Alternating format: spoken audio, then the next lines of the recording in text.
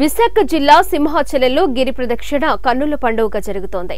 రెండేళ్ళుగా corona కారణంగా గిరి ప్రదక్షిణకు దూరమైన భక్తులు ఈ ఏడాది ఎలాగైనా పాల్గొనేందుకు తరలివస్తున్నారు. కొండ దిగువన ఉన్న తొలి పావంచ దగ్గర కొబ్బరికాయ కొట్టి ప్రదక్షిణ మొదలు పెడుతున్నారు వాతావరణం అనుకూలించడంతో పిల్ల పెద్ద అంతా ఉత్సాహంగా పాల్గొంటున్నారు. ఆషాఢమాసం పౌర్ణమి ముందు వచ్చే చతుర్దశి రోజు ఏటా గిరి పౌర్ణమి నిర్వహించడం ఆనవాయితీగా వస్తోంది. ఉత్తరాంధ్ర జిల్లాల నుంచే రాష్ట్ర నలుమూలల నుంచి తెలంగాణ ఒడిశా రాష్ట్రాల నుంచి కూడా భక్తులు వస్తున్నారు. మరింత సమాచారం మా ప్రతినిధి అందిస్తారు. విశాఖ లక్ష్మీ నరసింహస్వామి సింహాచల దేవస్థానానికి సంబంధించి గిరి ప్రదక్షిణ గురుపౌర్ణికి ముందు నిర్వహిస్తుంటారు. ప్రతి ఏడాది కూడా నిర్వహించే కార్యక్రమానికి జిల్లా కలెక్టర్ జిల్లా పోలీస్ కమిషనర్ మొత్తానికి అందరూ కూడా పోలీస్ బందోబస్తుతో పాటు కూడా వివిధ రకాలుగా అంటే ముప్పై రెండు కిలోమీటర్ల పాటు సాగే ఈ గిరి ప్రదక్షిణలో ముఖ్యంగా భక్తులకు ఎటువంటి ఇబ్బందులు కలగకుండా డెబ్బై చోట్ల ఆరు వందల డెబ్బై లైట్లు ఏర్పాటు చేశారు. పదిహేడు లక్షలతో పాటు సుమారు మొత్తం అంతా కూడా ఏర్పాట్లు నిర్వహించడం జరిగింది. అయితే దీంతో పాటు కూడా గిరి ప్రదక్షిణ స- జరిగే అంతసేపు కూడా భక్తులకు ఎటువంటి ఇబ్బందులు కలగకుండా వివిధ సంస్థలు స్వచ్ఛంద సంస్థలు రాజకీయ పార్టీలు కావచ్చు ప్రతి ఒక్కరూ కూడా భక్తులకు ఎటువంటి ఇబ్బందులు కలగకుండా మంచినీరుతో పాటు కూడా ఇవన్నీ కూడా వాళ్ళకి అందిస్తుంటారు. మొత్తం ఇక్కడ మీరు చూడొచ్చు తెన్నేటి పార్క్ వద్ద ఉన్న మనం ప్రస్తుతం భక్తులందరూ కూడా ఏదైతే సింహాచల దేవస్థానం గిరి ప్రదక్షిణ నిర్వహిస్తున్నారో ఆ ప్రాంతం నుంచి ఇటు వెళ్తూ ముప్పై రెండు కిలోమీటర్ల పాటు ఈ గిరి ప్రదక్షిణ కొనసాగుతుంది. అయితే ప్రస్తుతం మనం ఇక్కడ ఉన్నాం ఇక్కడ ప్రసాద వితరణ కార్యక్రమం అయితే నిరూపిస్తున్నారు భక్తులకి ఏ ఇబ్బందులు కలగకుండా అయితే ఇక్కడ నిర్వాహకులతో మనం ఉన్నాం ఇక్కడ. మేడం చెప్పండి గిరి ప్రదక్షిణ ఏంటి? ఈరోజు ఏంటి ప్రత్యేకత? భక్తులందరూ ఎందుకు ఈరోజు ఎక్కువ చేస్తారు? ఈరోజు గురు పౌర్ణమి అలాగే సింహాచలం దేవస్థానం ముప్పై రెండు కిలోమీటర్ల గిరి ప్రదక్షిణ.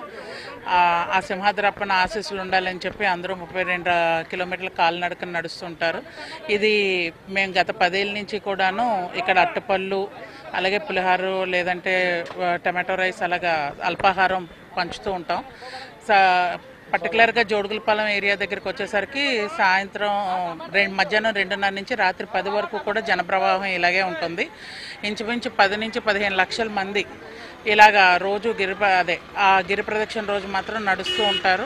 ఈరోజు ఇంకో ప్రత్యేకత నాలుగు చినుకులు పడతాయి ప్రతి సంవత్సరం. అంటే ప్రతి సంవత్సరం గిరి ప్రదక్షిణ రోజు ఆ దేవుడి ఆశీస్సులతోని చినుకులు పడుతూ ఉంటాయి అని అంటూ ఉంటారు. ఇంకా మేము వర్షం ఈ ఈ సంవత్సరం చల్లగా ఉండి ఆ దేవుడి ఆశీస్సులు అందరికీ ఉండాలని కోరుకున్నాం సార్ మీరు చెప్పండి పిరు ప్రదక్షిణ అంటే ఎక్కువ శాతం బయట ప్రాంతాల నుంచి కూడా వస్తారు. కొంతమంది భక్తులకి లేని వాళ్ళు కూడా ఉంటారు. ఇటువంటి వారికి ప్రభుత్వం ఆల్రెడీ ఏర్పాట్లు చేస్తుంది. అలాగే లోకల్ అధికారులు కూడా చేస్తున్నారు. కానీ మీ పరంగా మీరు ఏం చేస్తారు?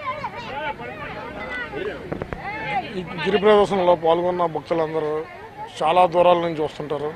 వాళ్ళకి అల్పాహారం కానీ పానీయాలు కానీ ప్రతి సంవత్సరం మేము అందిస్తున్నాము. స్వచ్ఛందంగా చాలామంది ఈ సేవా కార్యక్రమంలో పాల్గొంటారు.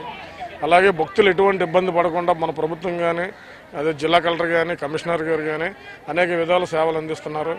ఇది అంతా ఆ భగవంతుడి నరసింహస్వామి అందరినీ చల్లగా చూడాలని ఈ భక్తులందరినీ హ్యాపీగా వాళ్ళ కోరికలు తీర్చాలని విశాఖపట్నంలో కాకుండా- కాకుండా పలు వేరే వేరే జిల్లాల నుంచి వేరే వేరే రాష్ట్రాల నుంచి కూడా వస్తారు.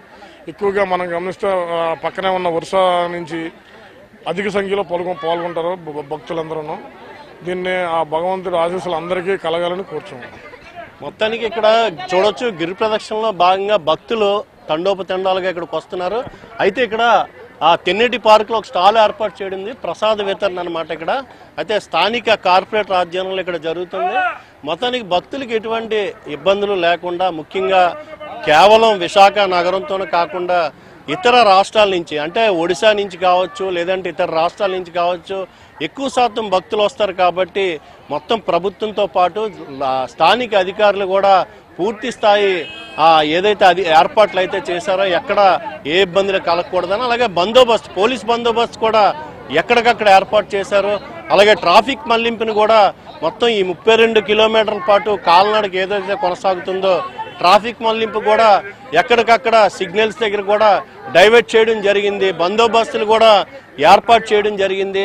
అయితే ఏదైనప్పటికీ కూడా ప్రతి ఏడాది గురు పౌర్ణమి ముందు వచ్చే ఈ గిరి ప్రదక్షిణ ఏదైతే ఉందో మొత్తానికి విజయవంతంగానే కొనసాగుతుందని చెప్పాలి. భక్తులకి ఏ ఇబ్బంది కలగకుండానే నిర్వహిస్తున్నట్టు కూడా మనకి ఇక్కడ కనిపిస్తుంది. ఇది ఇక్కడ తాజా పరిస్థితి. Video journalist అజయ్తో Lakshman APTS twenty four into seven Visakha నుండి.